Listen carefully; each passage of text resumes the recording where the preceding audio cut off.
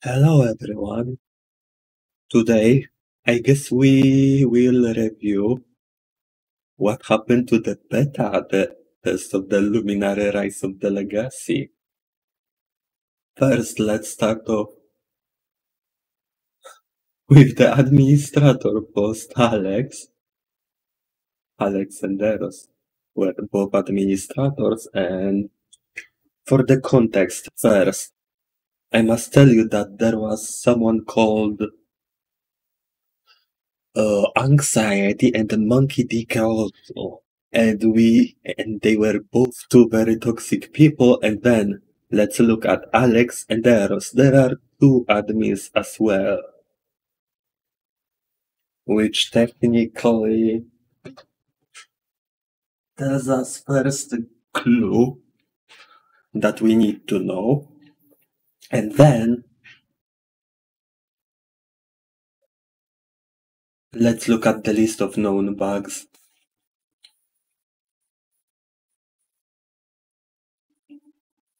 Low tier, medium tier, high tier game breaking core functionality not working causes crashes. Below is the current list of known bugs and issues. If the bug issue you found in the is in this list, you do not have to report it in no access. They deleted almost all of the channels, or, rather removed access for us.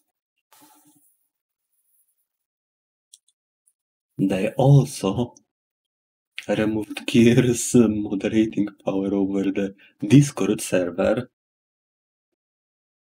and look all of those are glitches that uh, were on the game's launch. All of those.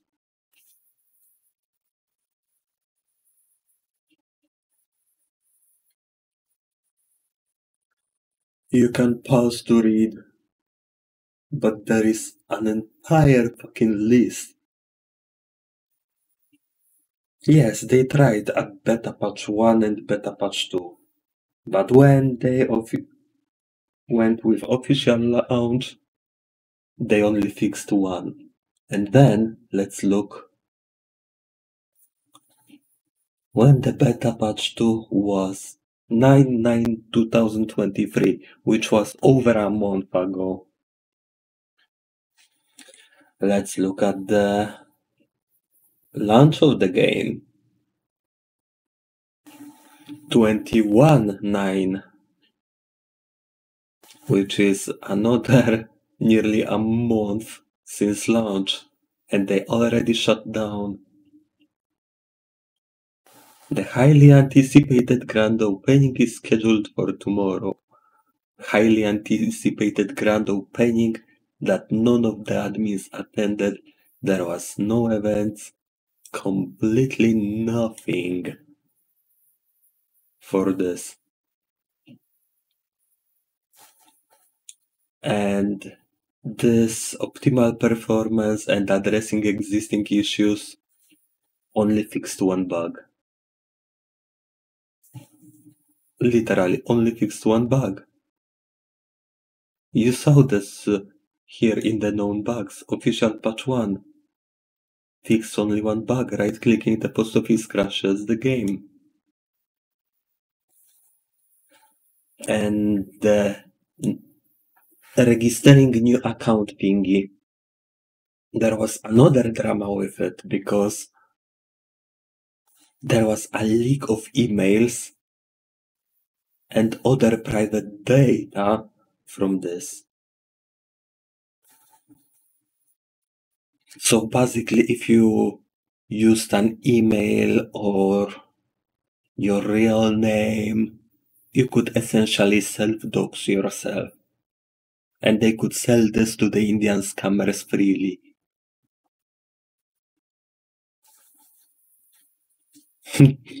Next point from the from here. It is not required to re-download the client. Instead, the current client will be updated. It was never updated. There was only official patch 1, day 1 patch, fixing only one bug. As a token of appreciation for their valuable contributions, beta testers who reported critical bugs will be rewarded upon the official release. It is important to note that the process of evaluating the reports and addressing any repeated bugs may take up, up to a month before the rewards are distributed. That was another lie because in one month the game shut down. And the beta testers received nothing. Absolutely nothing.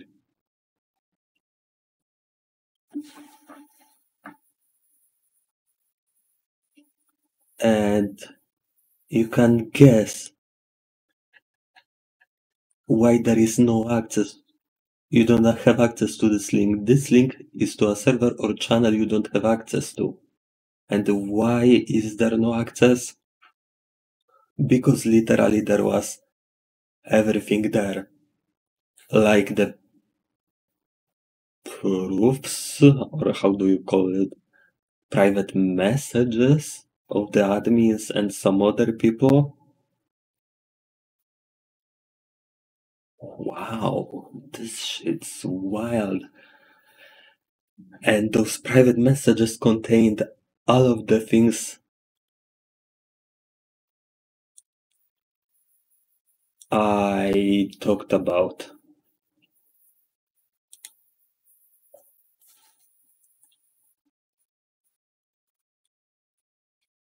Where is this? I forgot. Oh, here it is. Okay. Ah, we extend our sincerest gratitude. I bet this was lie as well. Knowing their behaviors. Yikes. Alex6725 was behind this failure of a launch and another admin.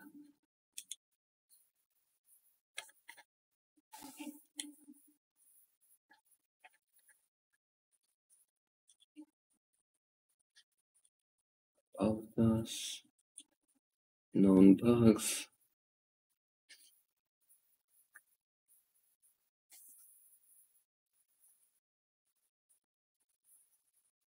Alex BDE and the second admin Eros, that's right. Eros 1784.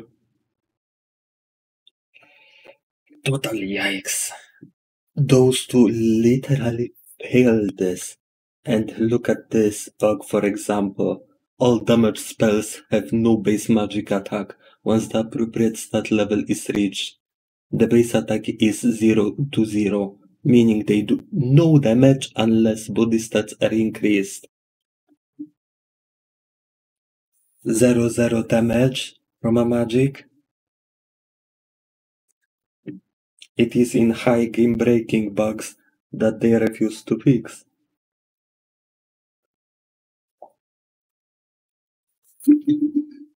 All those bugs here are still the bugs that they did not fix and that persist. That persisted until the closure. Because yeah, they closed it like yesterday maybe.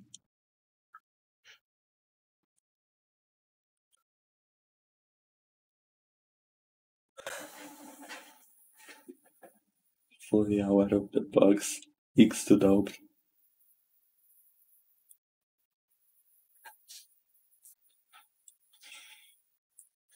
Today at 8:40 a.m., which is like 10 hours ago, there were multiple factors that led to the closure of the game, but the primary primary reason was its lack of profitability, which means they didn't fix the bugs, anything. Literally, they didn't fix almost anything on the launch, since the launch. And it was an entire month compared to, to their beta patches. Beta patches 1 and 2, they fixed a lot. Official patch? Nothing. Only one thing.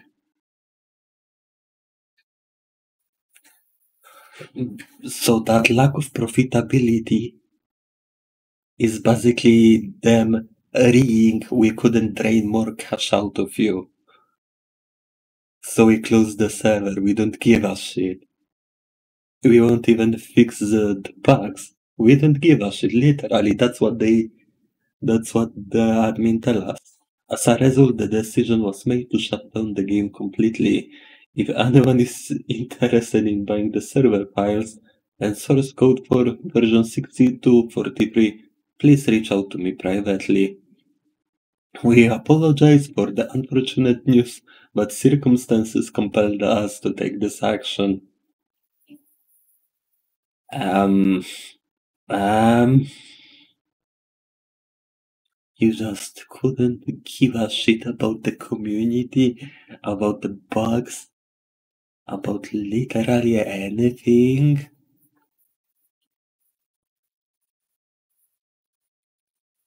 It's like uh, telling a baker, not even a baker.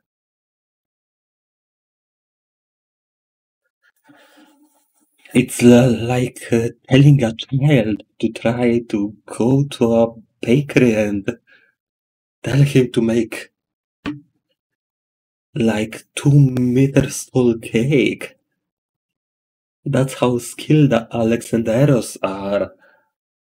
Those two admins, this guy rolls admins, and this guy roll admins. And the best reactions are community reactions. Literally 12 people laughed at this, including my main account.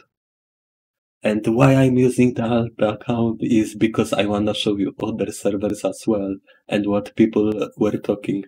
Headstone. Literally everyone laughs at them. Literally. Monkey D. also. Even Aerosag goes with the smog emoji. Even Eros.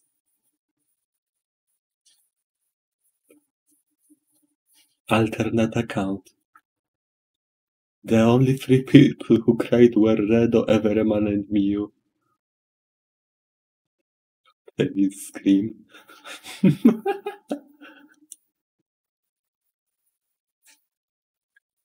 now, what people talk about this? There's a lot of talking. So let me show you the most recent things. This GIF for the bugs ideally describes them. This one as well. Maybe when the bug page hasn't been used for over a week, I take a look. Yep. Yeah, it's sad, but I'm getting the same feeling. So many bugs, and I have a feeling it's only for cash and not for the love of the game. Which was literally true. Alex admitted.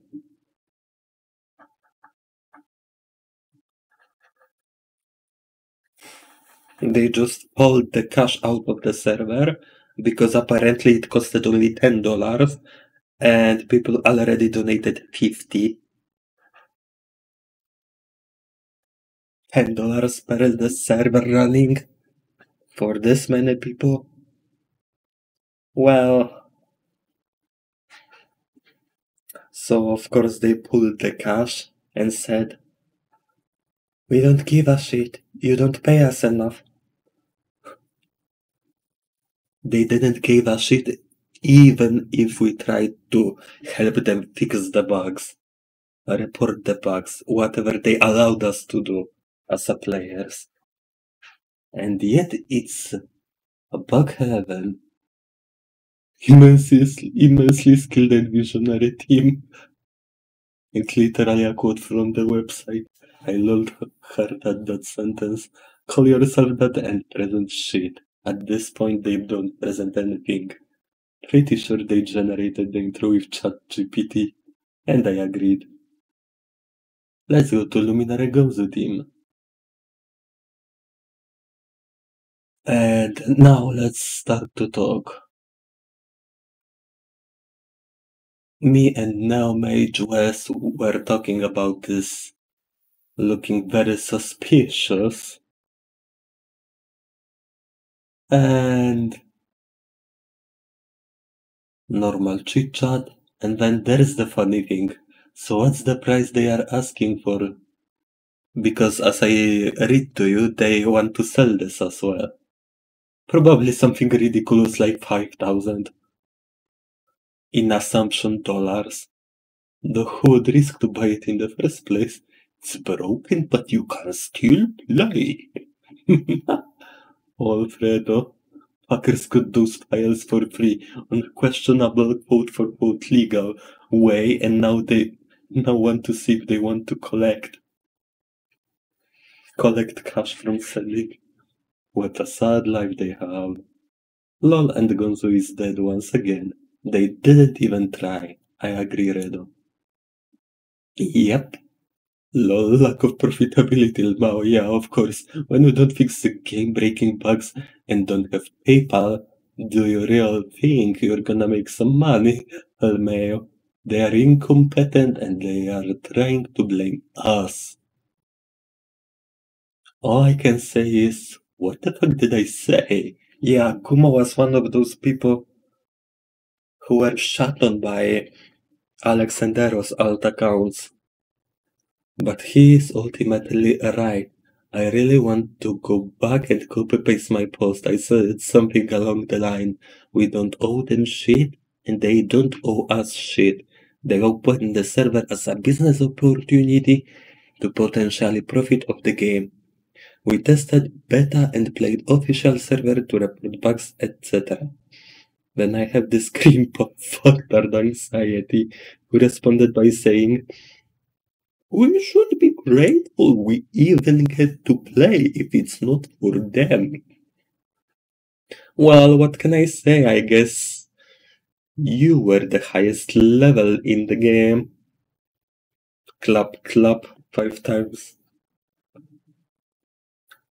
They owe anxiety the game files. He said he knows how to code and program. In um, my opinion, anxiety is was was uh, basically admin alternate account going by how toxic he was and how real admin was unresponsive literally unresponsive because I PM'd to him like several times, Alex and Eros both, and they didn't respond once. So going by the entitlement of uh, anxiety and his Twitter retard level of toxicity, I really think they were the alt accounts of admins. So fuck, the die-hard fan who supported them unconditionally shouldn't have to pay for the game files. they trying to salvage whatever they can get, like selling us their broken project car, like selling us their Tesla. It's the fact biggest red flag was official grand opening. They weren't even offline. That's time. That's the first time I'm reading this part. Shit, they weren't even offline for their own opening. What the fuck? Any other game, grand opening with the game master joining us to the fun events, give exclusive prizes, etc. Fuck, don't even try and tell me that the game wasn't profitable. I knew it wasn't because they were dumb as fuck. Also, they fixed one bug from beta to release. Basically, the official patch 1 fixed literally one bug, as you saw earlier. And as I said here, it would be very funny but tragic at the same time if Anxiety and the Monkey decals were Alex and Eros alt accounts. Totally undefendable. So basically that's all the drama the GoonZu have right now. Two retards came and tried to make a server, but they fucked it all up. And couldn't even bother to fix this.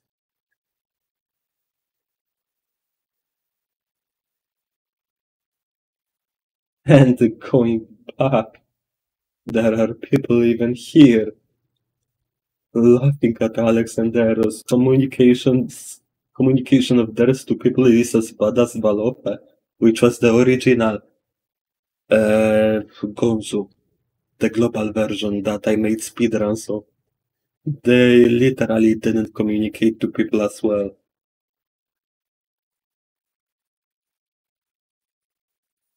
Next resettlement team, they are working on it, relax. Plot twist, they are not working on it. Lucian, we can't read what they give us. Yeah, the late in translation as always.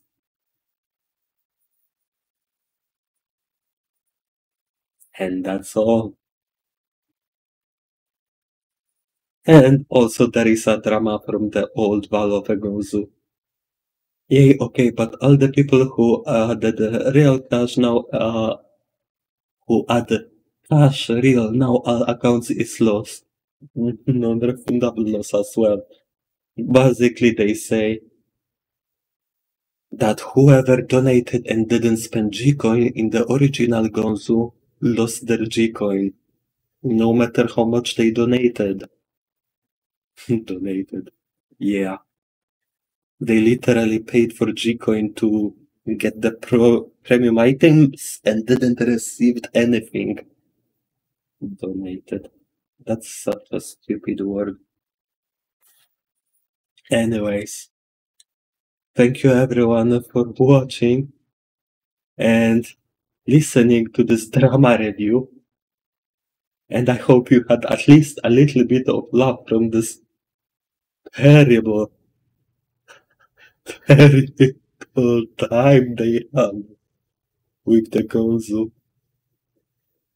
Almost as bad as Blizzard. Shit.